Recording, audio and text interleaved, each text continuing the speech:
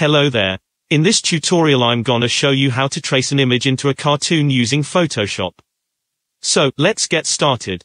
Okay, first create a new file and enter the preferences you like. If you're not sure, you can copy mine.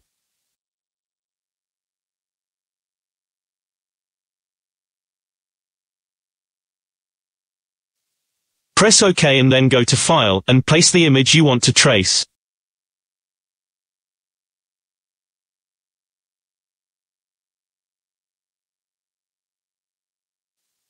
I will first resize the image. Make sure you hold the Shift button in order to proportionally resize it. Click Enter to place the image. Then I'm gonna create a duplicate of the layer. This duplicate I'm gonna resize and place in the left corner. It will stay there for the entire process.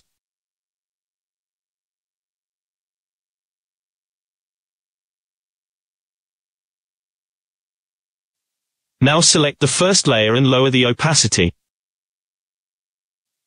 Then create a new layer and double-click on it to name it. Pick the darkest color from the palette and then select the pen tool on the left. Now we can start creating the lines.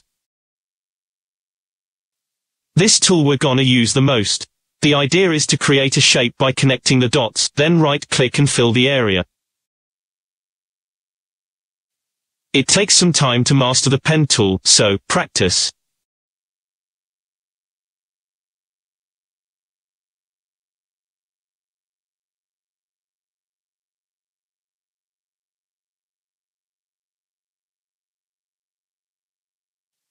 Because the whole process is relatively similar, I'm gonna speed up a little.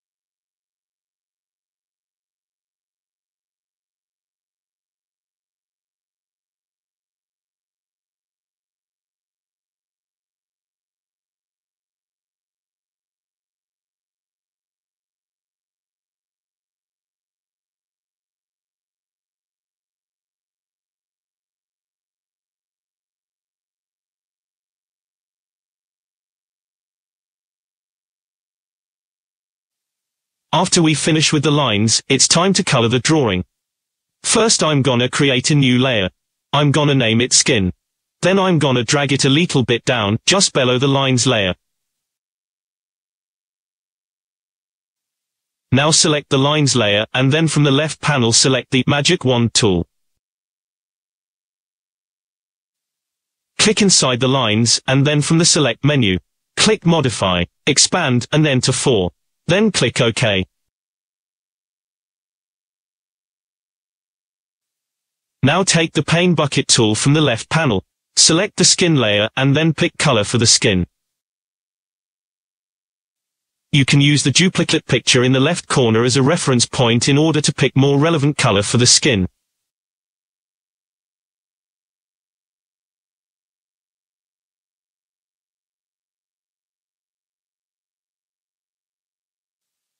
After you choose a nice color, just click inside the lines. You'll have the selected shape colored. Now press Ctrl and D at the same time to deselect the area. Using the brush tool, fill the gaps on the skin layer.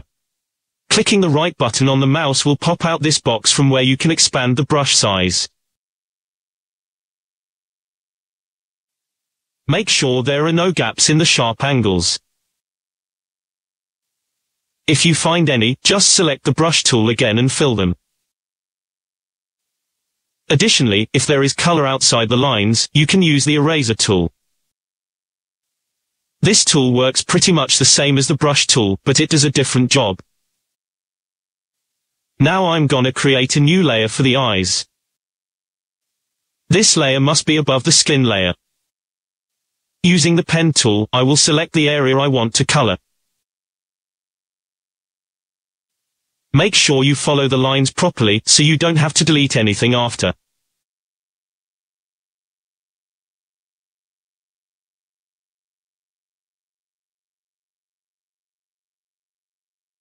After selecting the shape, right-click on your mouse and choose Fill Path, then press OK. After that, you can click Escape on your keyboard in order to hide the selection.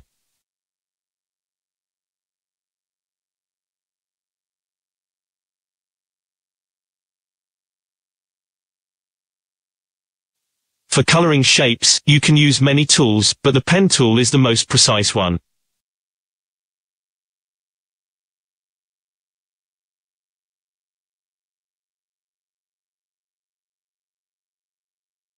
On the same layer, I'm gonna color the teeth.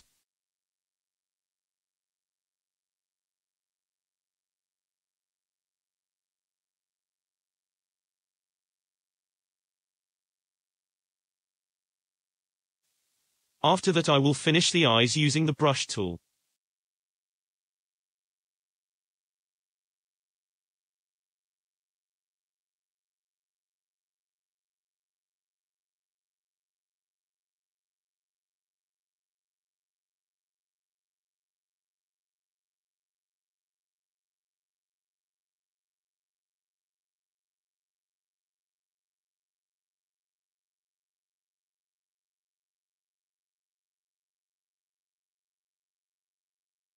Now let's pick some lighter color for the bottom part of the eyes. This will make them look more realistic.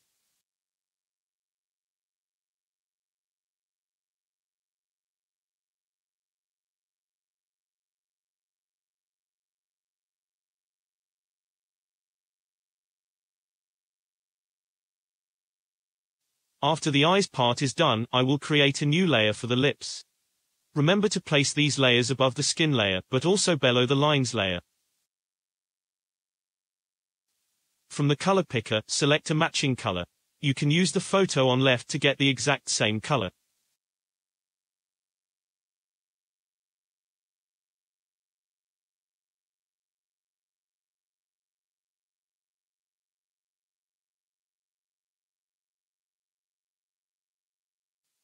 I will create an additional layer for the lips. This one is for lip shadows. Let's pick darker color. Feel free when selecting, because there's an option to stick this layer to the main one. Just hold down the Alt button, position the pointer over the line dividing two layers in the Layers panel, and then click. I will also add a layer for the lighter parts of the lips. But first, to get a better view of the shadows, I will duplicate the main image layer, set the opacity to 100, then using the brush tool I'm going to rasterize the layer because it's a smart object. Then I'll posterize the image.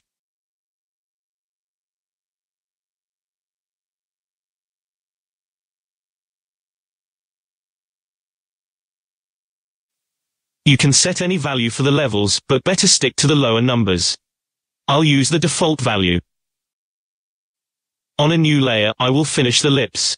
Now the colors are more exposed and it should be easier for you to select shadows or light.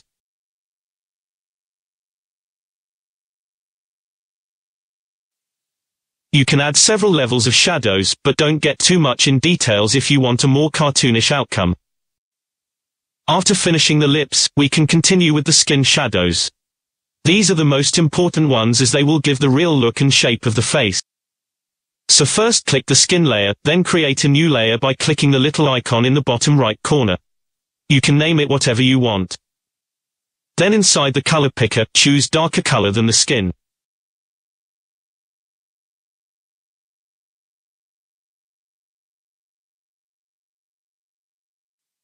Next, hide the skin layer, and using the Path tool select the darker parts from the posterized image.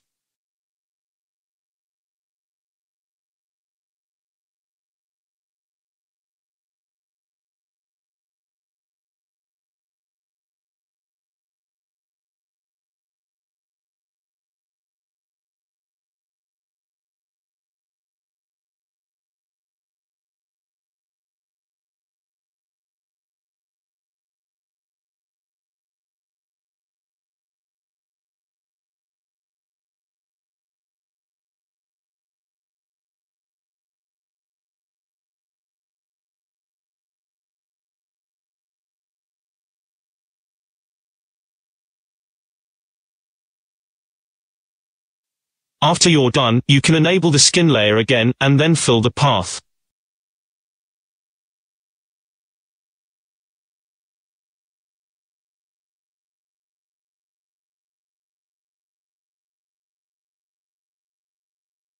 If you're not happy with the current color, you can choose a new one in the color picker, and then right-click and fill the path again.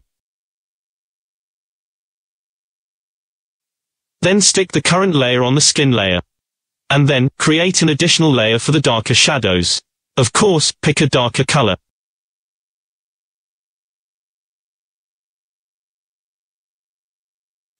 Then hide the skin layer again, and select the more darker parts. You don't have to follow the exact same shapes as on the posterize image. I tend to keep the shapes sharper, even if they aren't.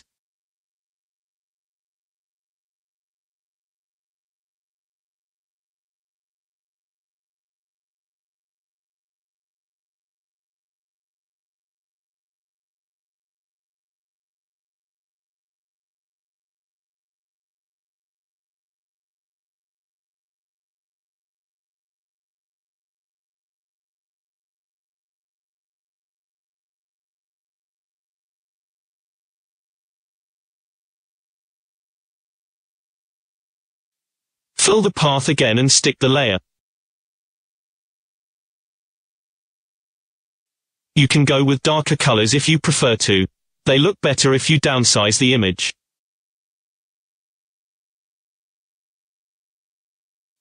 I will create one final layer for the shadows, then one additional layer for the light. What more shadow layers you add, the more realistic cartoon you'll get. The process is the same.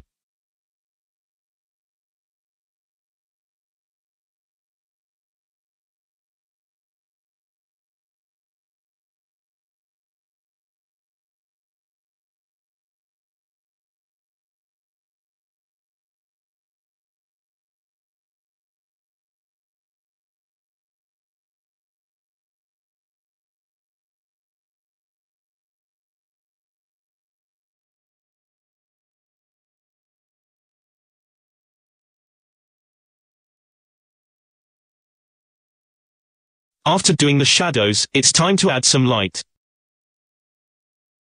You don't have to add the light, but I think it looks better with it.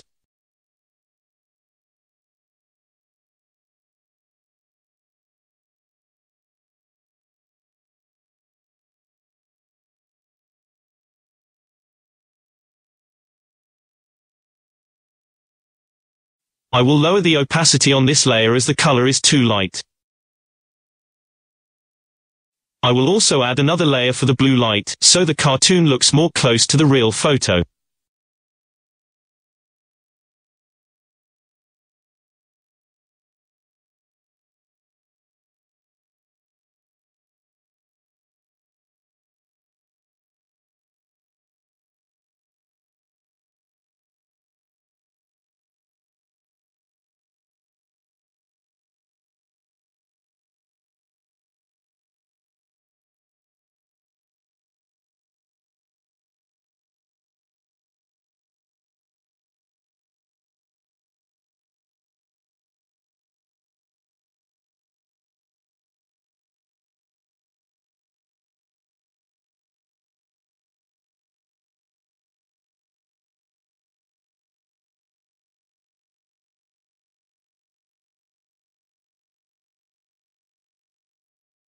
Next, I will create a layer for the gums.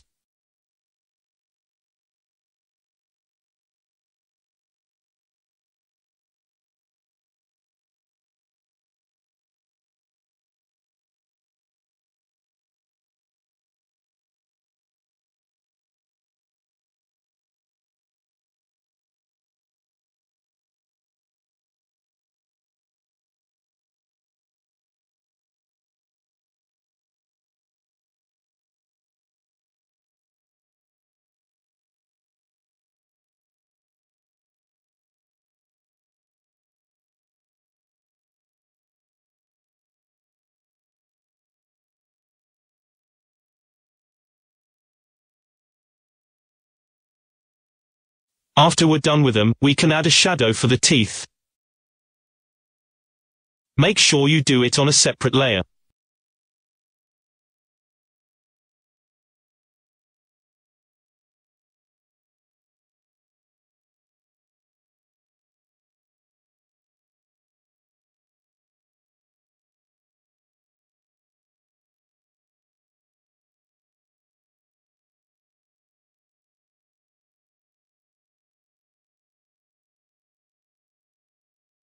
I will create additional layer for the light reflection on the shirt.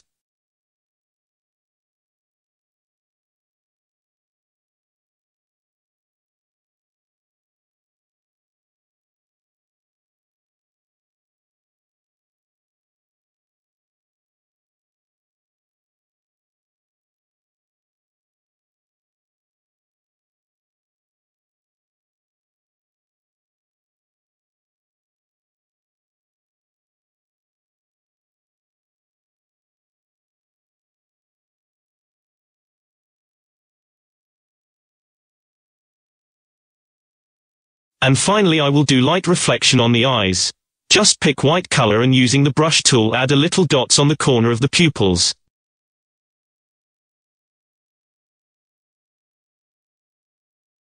You can also adjust the previous layer afterwards, just like I'm doing.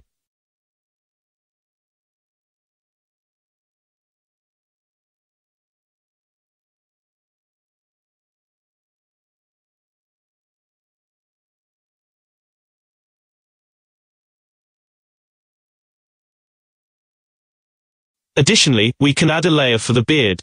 This will come as a green shadow, with lowered opacity.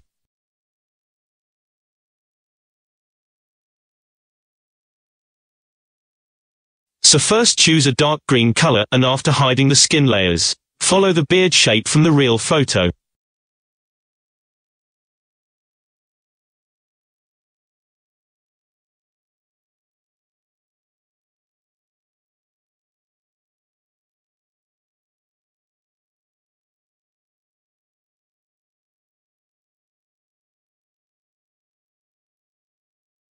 Now you can lower the opacity of your choice. We're almost done. One last thing I'm going to do, is, add a white background below the skin layer.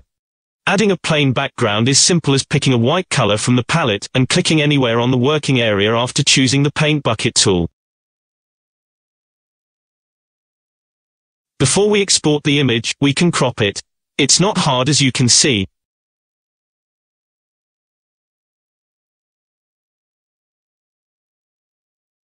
After you're done, just go to File. Press Save As. Then enter a name for the output. Choose PNG format, and click Save, and then OK. So that's it for this tutorial. If you learned something new from today's video, make sure to subscribe to my YouTube channel right now. Just click on the button below this video. Are you gonna try to redo the same image? Or maybe a different one? Let me know by leaving a comment below. Right now.